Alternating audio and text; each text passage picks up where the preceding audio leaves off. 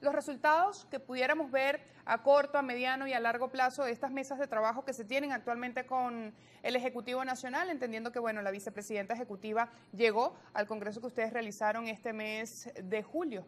Sí, pero recientemente nosotros tenemos infinidades de reuniones, porque siempre hay que seguir avanzando y no es un solo tema el que hay allí y también surgen otros. Una de las mesas recientes que se creó, incluso con, la parte de la agroindustria, es el tema del diésel, de manera tal de ver cómo se les puede ayudar y me voy a explicar. En el caso de la agroindustria, tú no puedes llevar un tractor a que él se surta eh, eh, en, una, en, una bomba de gasolina. Entonces tú tienes que llevarle a ellos o ellos a, sus fincas o sus cuestiones, no solo el diésel para los tractores, sino para las plantas eléctricas. Ahí hay un transporte, es decir, ellos les va a costar en principio un poco más de la tarifa que se acaba de anunciar porque tienes un transporte adicional.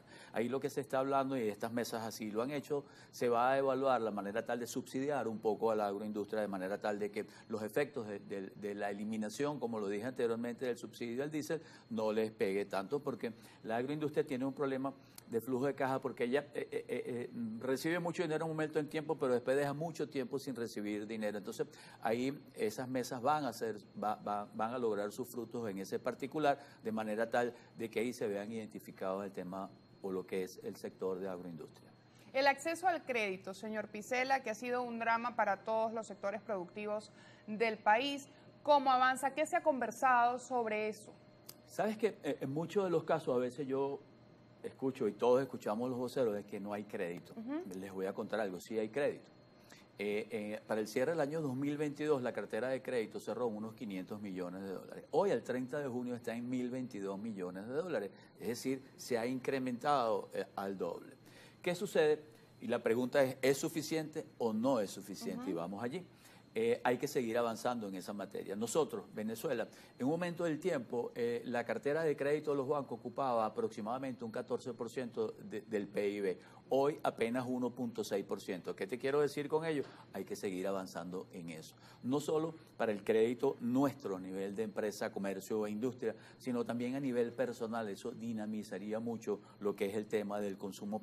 para eso se va. Hay que ir avanzando en esa materia y, los resultados están allí. Y se va a seguir avanzando en ese particular de manera tal de que en este segundo semestre quizás compensemos eh, la caída en muchos sectores, en el caso del sector industrial, porque tuvimos sectores disímiles, lo que es eh, alimentos y, y medicina subieron, pero tenemos otros sectores que bajaron. Entonces hay que abocarnos a esos sectores que disminuyeron en ese primer semestre o en ese primer trimestre, como es la encuesta de coyuntura que nosotros sacamos, de manera tal de ir nivelando estos desequilibrios que existen. Y las previsiones para lo que queda de año, señor Picela, entendiendo que el 2023 empezó un poco más lento de lo que se esperaba, pero las previsiones para lo que queda de 2023, ¿cómo están en el sector de la industria? Sí, eh, nosotros en, la, en, la, última encuesta de coyuntura decrecimos 1.5%.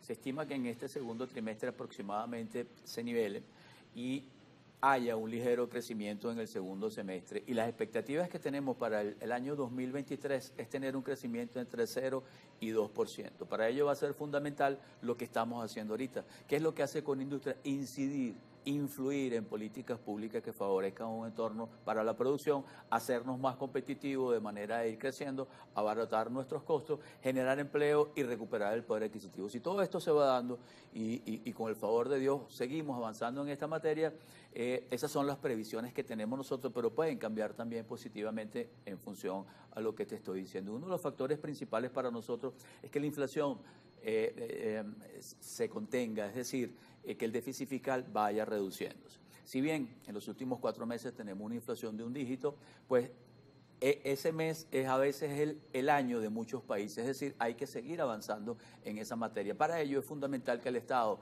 tenga mayores ingresos y que ese déficit fiscal se vaya controlando y a su vez la inflación.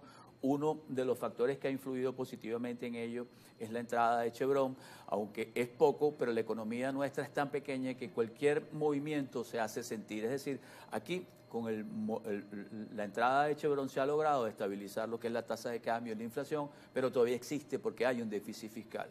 Es por ello que hacemos voto en cuanto a la flexibilización de las sanciones y que vengan muchas otras empresas de petróleo porque es fundamental para nosotros. Nuestra economía la va a determinar el petróleo, lamentablemente. Es decir, nuestro techo existe allí. Si existen mayores ingresos eh, para el Estado, para el país, nosotros vamos a seguir creciendo y con ello controlando el gran tema o el gran problema que tenemos, que es la inflación. Hacemos votos porque entren otras empresas como Eni, Repsol y así sucesivamente y tengamos un mayor ingreso para el país, lo cual nos va a conducir positivamente a un mejor futuro.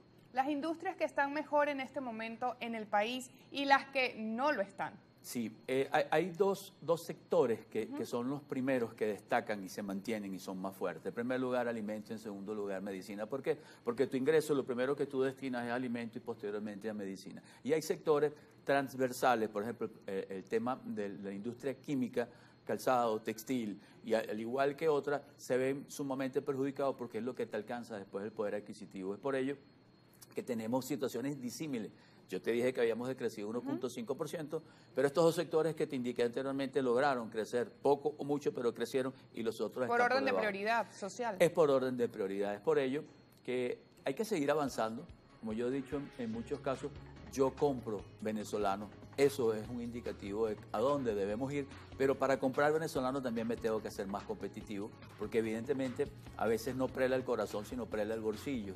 Cuando tú vas a comprar algo, evidentemente a veces tú sabes que estás comprando algo que no está producido en el país, pero está más económico. Pero vamos, eh, vamos a avanzar en ese particular. Lo que te nombré al inicio del programa nos va a hacer más competitivos. Es un largo camino todavía que tenemos que recorrer. Pero como a veces decimos mucho, los industriales estamos acá, a pesar de todos los problemas que hemos mencionado acá, la industria nacional sigue, la industria nacional sigue generando empleo, la industria nacional genera actividad económica y por ende genera ingresos a nivel de, de recaudación de, impuestos. Y nuestro objetivo principal es, hacer que nuestros trabajadores obtengan un beneficio acorde con lo que ellos hacen y se recupere el poder adquisitivo.